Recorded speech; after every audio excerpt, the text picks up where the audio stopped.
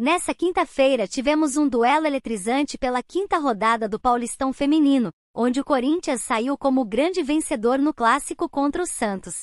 Em um confronto acirrado realizado na histórica Vila Belmiro, nossas guerreiras alvinegras se superaram e conquistaram uma vitória magistral por 1 a 0, com um gol simplesmente decisivo de Gabi Portilho. Foi um verdadeiro espetáculo de determinação e habilidade. Com essa vitória triunfal no clássico, o Corinthians não só deixou o Santos para trás, como também ultrapassou a equipe da Ferroviária, reassumindo o posto de líder do campeonato estadual. Nossa equipe segue imbatível, acumulando incríveis 13 pontos em seu desempenho até agora, com 4 vitórias e um empate.